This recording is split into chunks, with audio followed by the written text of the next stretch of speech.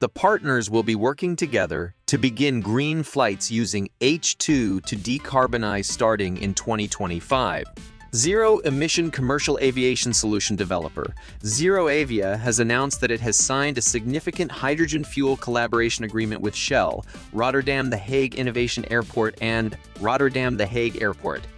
The group will be working together to develop H2 airport operations and demonstrate clean flights.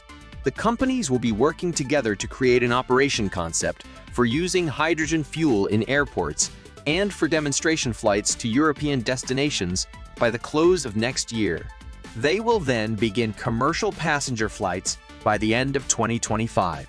As a next step along the cooperation commitment journey first announced in 2022 for the launch of the first H2-powered commercial flight, this particular collaboration will be directing its attention to providing the first H2 flight from Rotterdam.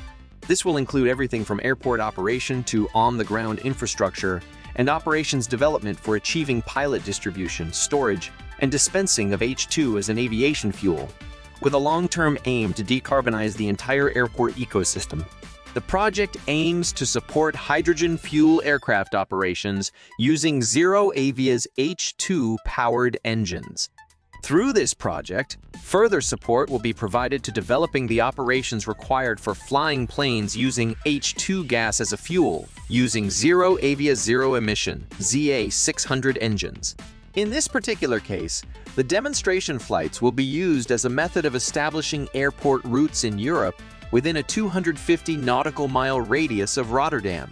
In January, ZeroAvia conducted its first flight demonstration of its ZA600 engine prototype in a 19-seat aircraft. This new project will go beyond that technology and will aim to further develop the standards and protocols specific to aviation with respect to refueling, H2 management, and safety. In this way, when the engines roll out and the use of hydrogen fuel are ready, it will occur seamlessly.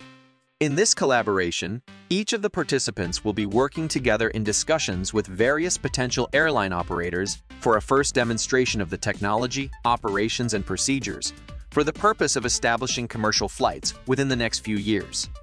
Jake Martin here. Come join our community, leave us a comment, and grab the newest ebook. Click subscribe to start your journey. Link in the description below.